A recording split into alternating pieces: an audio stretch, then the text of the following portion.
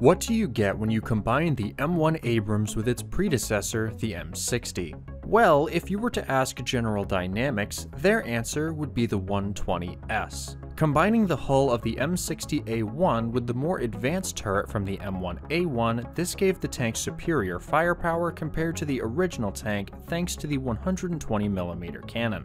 It was also planned for the M60 hull to be fitted with a more powerful engine, granting it improved mobility.